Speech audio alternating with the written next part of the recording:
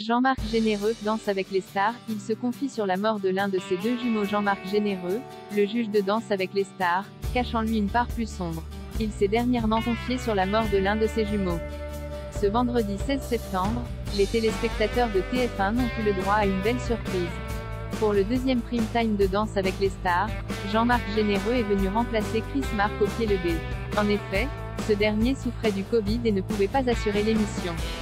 Le chorégraphe canadien n'a donc pas hésité une seconde, il a sauté dans l'avion pour venir rejouer les juges en France le temps d'une soirée. Autant dire que l'émission a été riche en émotions.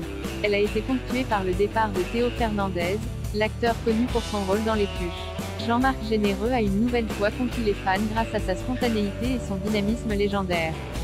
Mais ce que le public ignore souvent, c'est que le danseur de 59 ans cache aussi une part plus sombre. En privé, il partage la vie de France, qu'il connaît depuis qu'il a l'âge de 9 ans. Un couple solide et complice, mais qui a dû faire face à un drame il y a plusieurs années.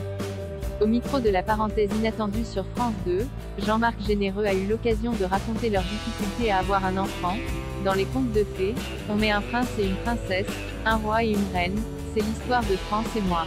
Et tu dis que quand tu veux faire un enfant, ça va être facile car on s'aime tellement. Mais ce n'est pas si simple. Jean-Marc Généreux a vécu un drame Le juge de danse avec les stars a alors poursuivi avec une histoire poignante. Sa compagne France a fini par tomber enceinte de jumeaux, pour leur plus grand bonheur.